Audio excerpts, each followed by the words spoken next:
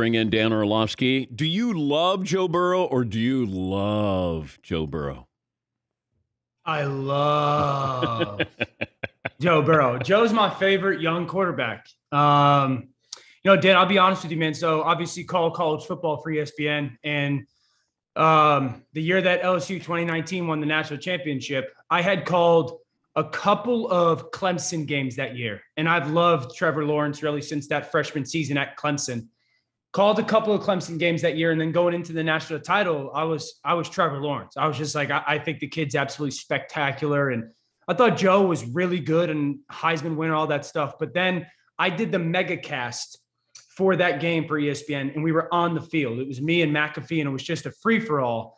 But I remember during that game and then after that game, walking away going, that's the guy about Joe Burrow. I was like, that he has that rare, just super rare ability that he mentally wants to just he takes pleasure in taking your soul on a football field like he he wants to humiliate you while also his pulse just never seems to rise at all and I think it's one of those things or the thing that NFL teams just chase after, chase after for quarterbacks, but it's so hard to kind of touch and quantify. And uh, I said this last year there was no young quarterback that I would have taken outside of Joe Burrow besides Deshaun Watson um, in that moment. And then I sit here today, there's not a young quarterback that I would take over Joe Burrow. Under the age of 25, give me Joe Burrow.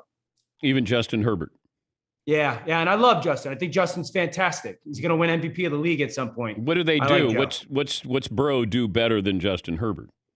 Um, I think Joe number one has the ability to never panic. You know, we call him poise, whatever. He just never panics with the football, and I see a great majority of that with Herbert, um, but not in the like not in the way that I see it with Joe. I think Joe can make um, more throws that require a little bit more touch, a little bit more love on them. Justin's arm is so powerful and so strong. Now, Justin can do things that Joe can't as well with the arm strength and the athleticism. Um, I, I, just I, I, think because of just the the the ability to never panic with the football is my favorite quality of Joe. Yeah, you start to look at these quarterbacks, and I think it's easy to forget about Joe Burrow because he was playing for the Bengals. Like that, you know, mm-hmm. that's a cute little story. Then he got injured. Then mm-hmm. coming into this season, AFC North was packed, top heavy, it felt yeah. like, and then there was going to be the Bengals. And then you look up and you go, Bengals won the division, and yeah. they're in the playoffs. But I also wondered bigger picture here. Are we being fair to the job that Joe Burrow did? That it feels like it's a foregone conclusion. It's Aaron Rodgers MVP, and then mm-hmm. Tom Brady second. Yeah. Maybe it's Joe Burrow, Jonathan Taylor. Has anybody been more? Has have Rodgers and Brady been more valuable to their team than Joe Burrow? Uh, I don't think you could say that they've been exceedingly more valuable, but I do think that the fact that the Green Bay Packers were 13 and 3 with Aaron, obviously 13 and 4 after this past weekend, and the one seed when you know that and, and, this is why I think that Matt LaFleur is the coach of the year and and with respect with the job that Mike Vrabel has done and and a guy like Nick Sirianni and Zac Taylor. The offseason has to factor into the equation when you're when you're talking about Aaron Rodgers in regards to the MVP. This team lost their starting tight end midway through the season. They played games with Aaron Jones. They didn't have their all-pro left tackle. They lost their basically best offensive lineman outside of Bakhtiari and Elgton Jenkins. The reality of that, Allen Lazard missed games. So the fact that Aaron Rodgers played at the level that he did and never hurt his football team in regards to kind of his impact on that team and being the one seed, yeah. given everything that transpired. That's why like Aaron's the MVP for me. I agree. Joe's been spectacular. If it wasn't for two Hall of Famers, Joe's probably in that top conversation, but I don't think you could put him past Aaron and Tom. Of all the uh, coaching vacancies, if you factor yeah. in the quarterbacking situation. Yeah. How would you rank them? It's a great question. I think it's the I, I first of all, Denver Broncos is is the number one for me. Um, With no quarterback. Sent, yeah, the Denver Broncos. When you guys sent over the note um, that that was going to be a question, I was like, well, that's that's easy. It's Jacksonville. You know, it's Trevor Lawrence. And then I started to think about it, and I said, well, you know, what about Denver, Dan? Because Denver's got a phenomenal roster. They've got great young skill talent. really two good backs, one being very young, a solid offensive line. Surtain looks like a superstar. You just got to get a quarterback, right? And then I thought to myself, dude, you got to play Justin Herbert and you got to play Patrick Mahomes four times a year. You don't want that job. And then I started to lean towards, well, the Chicago Bears, because you, you know, you've got at least a talented guy. In a year, more than likely, he's going to be the most talented quarterback in that division, assuming Aaron leaves Green Bay. Um, but the reason I put, and then obviously the New York Giants, I think the Giants have more talent on their roster than kind of the situation portrayed it to be this year. Denver Broncos are one for me because I still think that that is a potential destination for Aaron if Aaron leaves Green Bay. Um, AFC, get him out of the NFC, and they've got a head coaching vacancy that you can kind of Nathaniel Hackett pair it together potential. But I just think it's so hard to build a roster in the NFL around a quarterback. You like the, the, the Broncos already have 95% of the puzzle done. Now, the one missing piece is obviously a missing piece, but we've got Rodgers potentially in the market. We've got Russell potentially in the market. We've got Baker Mayfield potentially in the market. We've got Deshaun Watson in the market, whatever your opinion on that situation is and how the league handles it. And then we obviously have the draft. So I know it's easier said than done to find that guy, but we often don't have veterans entering the market that are good potentially like this. Uh, I think second for me would probably be um, the Jacksonville Jaguars because of Trevor. Um, I, I, just think he's still got the chance to be a phenomenal, phenomenal player.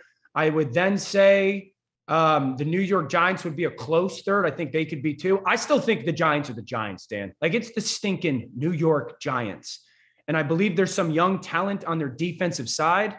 I would move on from Daniel Jones. I would move on from Saquon Barkley easily. And then I put the Bears because they just don't have money and draft capital. You also have the Vikings situation, which is interesting. A new right. coach coming in, and you got Kirk Cousins, who gives you sort of it's almost like it's food that that uh, fills you up for about 15 minutes, and then you're hungry after that. Like it's really yeah. good, but then it's like uh, it's not that fulfilling, and you got to pay him forty five million dollars. Yeah, I was having this conversation with Scott Pioli yesterday because I was saying, you know, as a front office, how do you handle it? Because you know, there's five or six just great guys. Like they, quarterback wise, they are great. And then there's that group of 10 or so that are good players. And if they get a good play caller and they stay healthy on the offensive side and they got good position players, skill wise, they can play like a great player, but they're good. And how does the organization kind of maneuver its way saying, we got a guy that's good? When when does the moment come we got to chase the great one? We got to try and find a great one. Yeah, so Minnesota is a good one. I, I forgot. So Minnesota, the most interesting thing for me for Minnesota with the new general manager and the new head coach is yes, what are you going to do with Kirk? I think his contract is guaranteed next year as well. And then and I don't know Justin Jefferson at all, but I think he's a bona fide top three guy at the position, potentially top five, probably right now conversation. How do you get him? How do you convince him to stay when, you know, eventually Justin's going to become a free agent? And how do you convince that player to stay a part of your organization? I think is one of the biggest challenges for the general manager. Dak Prescott has been good, very good, or other. Uh, Dak Prescott's been good this. Now, Dak Prescott's been very good this year. He's been very good. There's been moments where he did not play uh, to his kind of standard um, injury. He did not maneuver the pocket well. He would drop his eyes against the rush. I think the connection between him and Amari Cooper is very much so lacking. The reality is what the tape shows and then the numbers say. Um, I think that there's two quarterbacks in the playoffs, three quarterbacks in the playoffs that have an immense amount of pressure on them. Dak Prescott, Matthew Stafford, and Aaron Rodgers. Um, I think Aaron's probably third in that list because uh, I think he's so at peace with whatever's happening. Um, I think the amount of pressure on Dak Prescott and Matthew Stafford is enormous. Yeah, I would throw Josh Allen in there too. Yeah.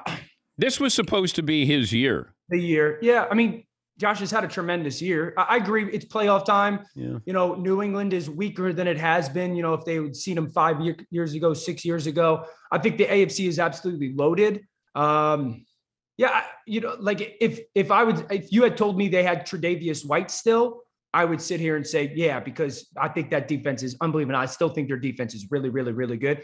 I don't think that Josh has more pressure on him than Matthew or Dak, though. Like, okay. yes, there's pressure on him, but I don't think more than those two guys. More likely to leave their team, Russell Wilson or Aaron Rodgers? Hmm. I think Russell Wilson. You know, I really do. I, I, think we obviously heard the rumblings last offseason. It seems, and Mina Kimes has pointed this out many a times on NFL Live, like it seems like the organization is going to have to choose Russell Wilson or Pete Carroll. Yeah. Um, I would go, let's take Russell, let's keep Russell and, and, and find a new coach. But I don't know if that's what Russell wants. I don't know if that's what the organization wants. I just, and I think that, you know, given what had happened last offseason and then the way this season went, um, I just think it's it's likely that he leaves that place. I also think it's likely that there's going to be a lot of teams that are going to be very interested in Russell. Um, the way that that things have gone in Green Bay, it's you know like I feel like I try to go on in my job and be very convicted in the things that I say. I have absolutely no clue what Aaron's going to do. I just wonder why would you leave the NFC North? Like I, yeah, I, have yeah. already, I'm, i can plug in at least five wins. It feels yeah. like for the next couple of years, and you've got as much as he was critical of the front office. That front office knows how to draft. They, they, oh. they, they may not have taken a wide receiver instead of Jordan Love, but they can flat out draft, and they sort of rival. You know, the Ravens are always wonderful. Yep. Man, yep. I, so I got that. I got the legacy there. I'm I love Denver. I think Denver is the the sneaky pick because that roster yes. is ready to detonate yeah. in a good way. But I, I just look around and go, you keep Davante Adams, got two running backs, you got your you know offensive line, some defensive players who can make a difference. You like LaFleur, you can deal with you know the front office, like well, yeah. you know. The, the only reason Aaron would leave would be things that have nothing to do with what transpires on the football field. Mm. This would have to be I just want to change the scenery or I want to move somewhere different or I just I wanted a different challenge. It's different than the situation that Tom had because Tom left New England because of a lot of what was transpiring on the football field because of the depletion of talent where if Aaron leaves, it's going to be because I wanted to do something different. I wanted to try something different in a different space. It has nothing to do with I felt like opportunity football wise was going to be greater somewhere else. He's Dan Orlovsky of the Mothership. You can see him. Uh, they got Monday Night Wild Card. That's uh, the mega cast there. Uh, Dano with Mina Kimes, Marcus Spears, Laura Rutledge, and uh, you can see them daily on NFL Live. Uh, is there a college quarterback worth a top five pick this year? Um, I haven't seen one, Dan. You know I, and i and i won't dive into those kids really till like the end of february early march but i i haven't seen one. I think ten, top you know, 10 got, top 10 there will be. You know this league. You know there will be. Um you know i think the kenny pickett kid is interesting because from pitt because of what mac jones has done this year i mean you get it and what joe burrow has done now i don't think he's nearly as good as joe but you know that that guy that played a lot of snaps in college and that is a very smart player and, and is kind of you know hardened that leadership skill set and is mature enough to go into that locker room and and um, is a better thrower than he is an athlete, but a, a, good enough athlete and creator. I think Kenny Pickett is an intriguing guy. Um, obviously, Corral is going to be somebody that is going to be very much so paid attention to because of his athleticism. Malik Willis from Liberty because of just the raw special talent and athlete that he is. Um, I think someone will go in the top 10, yes. I think this strong kid out of Nevada is going to be one of those to keep an eye on. That yeah, yeah, yeah. Don't, I, don't I know enough about him. You know, that's where you're like, wait a minute. Uh, he's going to test off the charts, or it, it, it just feels like if somebody's going to come out of nowhere, it might be might be that quarterback, or at least that's just a gut feeling that I because every year there's always a riser. There's always sure. like, here he comes, and you're like, whoa, yeah. wait a minute, and then you yeah, realize, you know, then there's just going to be so much quarterback movement this year, man. Like I know. I know, we thought last year it was going to be it, and we had a, a little bit, but this year, I mean, you could be thinking of, you, you know, the Dolphins could be in the conversation for a quarterback. You're you're looking at the um, you know, what happens with the Raiders and Derek Carr? I'm such a Derek Carr fan, and I think he's a phenomenal player, but they don't owe him any more money. I, I, who's going to be their head coach? You know, it's just like you, there's there, Derek Carr can have movement. What happens in Cleveland with Baker Mayfield? What happens in Pittsburgh?